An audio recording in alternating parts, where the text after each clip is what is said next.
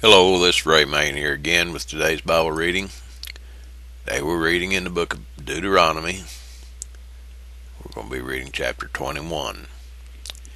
If one be found slain in the land which the Lord thy God giveth thee to possess it, lying in the field, and it be not known who hath slain him, then thy elders and thy judges shall come forth, and they shall measure unto the cities which are round about him that is slain and it shall be that the city which is next unto the slain man, even the elders of that city, shall take an heifer, which hath not been wrought with, and which hath not drawn in the yoke. And the elders of that city shall bring down the heifer into a rough valley, which is neither eared nor sown, and shall strike off the heifer's neck there in the valley. And the priest, the son of Levi, shall come near, for them the Lord thy God hath chosen to minister unto him, and to bless in the name of the Lord and by their word shall every controversy and every stroke be tried. And all the elders of that city that are next unto the slain man shall wash their hands over the heifer that is beheaded in the valley. And they shall answer and say, Our hands have not shed this blood, neither have our eyes seen it.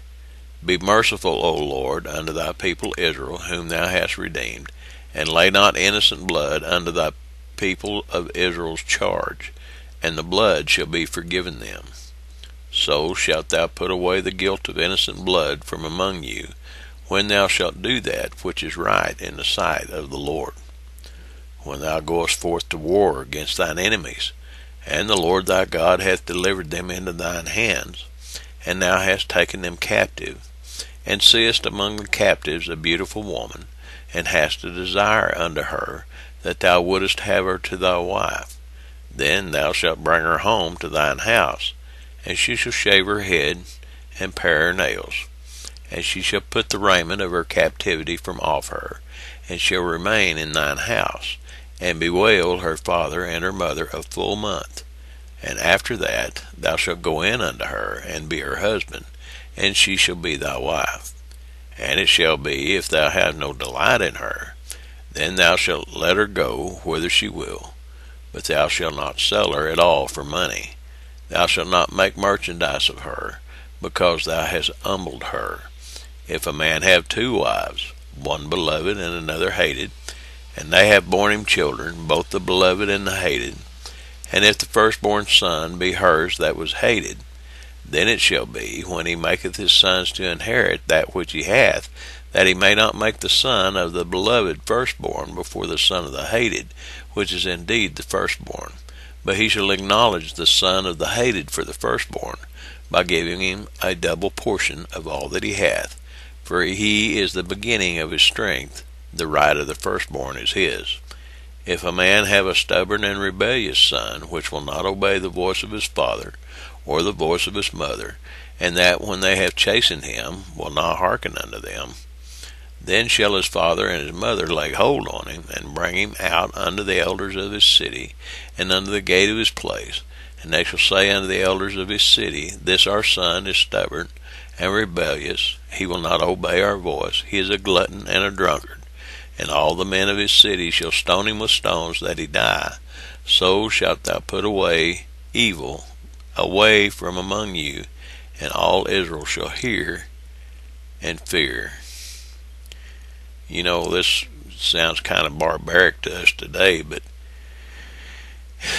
if this was still in practice, I don't think any of us could deny that, you know, this world would probably be a better place.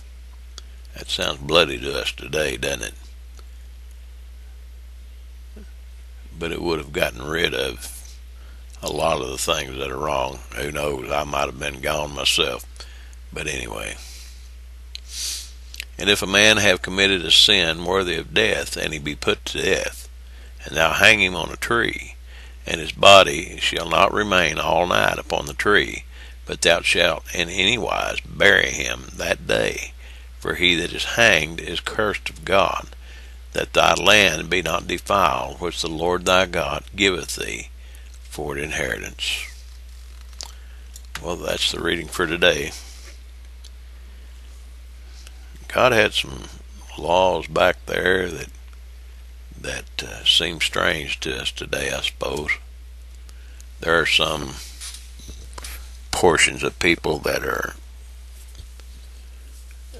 have their laws something like this, and they seem barbaric in our so-called enlightened age.